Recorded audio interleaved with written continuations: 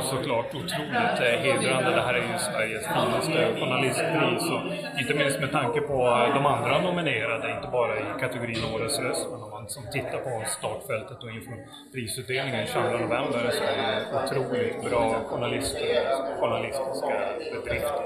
Mm. Känner att du har hittat din röst så att säga?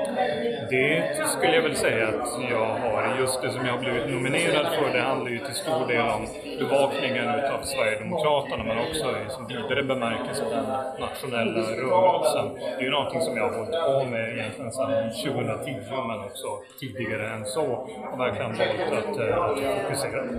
Mm. Men är du aldrig rädd då? Jag skulle inte säga att jag är rädd, men eh, man ska ändå ha som respekt för situationer som kan eh, uppkomma. Inte sällan så har jag träffat på folk, folk som beter sig aggressivt och gör som olika utfall på olika sätt. Men jag är som fokus på att eh, göra mitt jobb. Frågorna måste ställas, även om folk blir arga eller upprörda över det. För det handlar ju till syvende och sist om, makthavare, personer som då ställer upp i allmänna val och söker folkets förtroende och vill företräda väljarna som vill ställa de här frågorna.